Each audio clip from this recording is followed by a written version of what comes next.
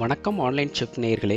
இன்றைக்கி நம்ம சேனலில் ரொம்ப ரொம்ப சுவையான பாசிப்பருப்பு சாம்பார் எப்படி செய்கிறதுன்னு செஞ்சு காமிக்க போகிறேன் வீடியோக்குள்ளே போகிறதுக்கு முன்னாடி நம்ம சேனலை இது வரைக்கும் சப்ஸ்கிரைப் பண்ணாதவங்க சப்ஸ்கிரைப் பண்ணிக்கங்க. கூடவே பக்கத்தில் இருக்கிற பெல் ஐக்கானையும் ப்ரெஸ் பண்ணிக்கங்க. அப்போ தான் என்னுடைய புதிய வீடியோஸ் எல்லாம் உங்களுக்கு உடனடியாக வந்து சேரும்.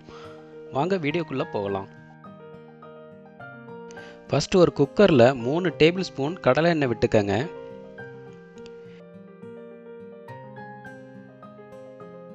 எண்ணெய் சூடானதும் கொஞ்சமாக கடுகுலந்து சேர்த்துக்கங்க.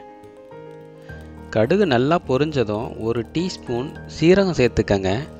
இது கூட உங்கள் காரத்துக்கு ஏற்ற மாதிரி ரெண்டு இல்லை மூணு பச்சை மிளகாயும் கொஞ்சம் கருவேப்பிலையும் சேர்த்து வதக்கிக்கங்க.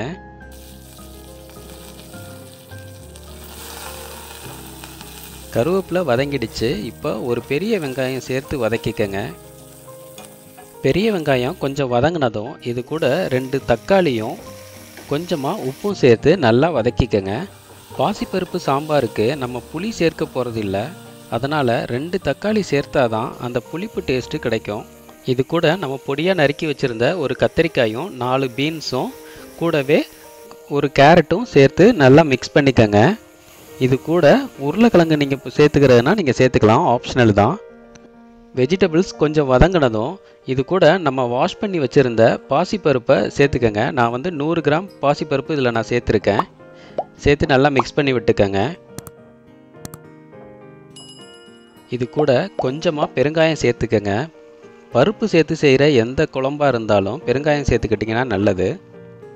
இது கூட கால் டீஸ்பூன் மஞ்சள் பொடியும் அரை டீஸ்பூன் சீரகப்பொடியும் ஒரு டீஸ்பூன் மிளகாய் பொடியும் சேர்த்து நல்லா மிக்ஸ் பண்ணி விட்டுக்கோங்க.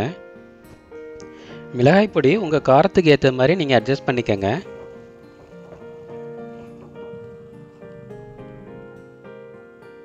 சாம்பாருக்கு தேவையான அளவு தண்ணி இப்போ இதில் சேர்த்துக்கலாம். நான் வந்து மூணு கப் தண்ணி இதில் நான் சேர்த்துருக்கேன்.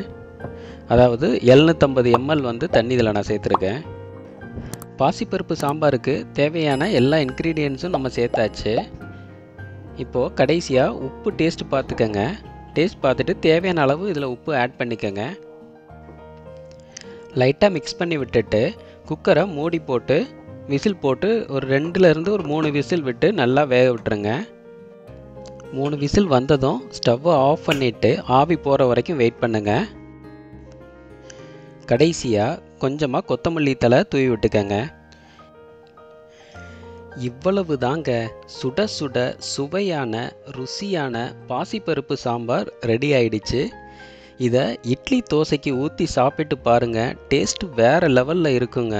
நீங்களும் இதை வீட்டில் ட்ரை பண்ணிவிட்டு உங்கள் கமெண்ட்ஸை வீடியோ கீழே மறக்காமல் பதிவு பண்ணுங்கள் இந்த வீடியோ உங்களுக்கு பிடிச்சிருந்துச்சுன்னா லைக் பண்ணுங்கள் ஷேர் பண்ணுங்கள் மறக்காமல் ஆன்லைன் செஃப் சேனலை சப்ஸ்கிரைப் பண்ணுங்கள் மீண்டும் இது போன்ற நல்ல வீடியோவில் உங்களை சந்திக்கும் வரை உங்களிடமிருந்து விடைபெறுவது உங்கள் ஆன்லைன் செஃப் தேங்க்யூ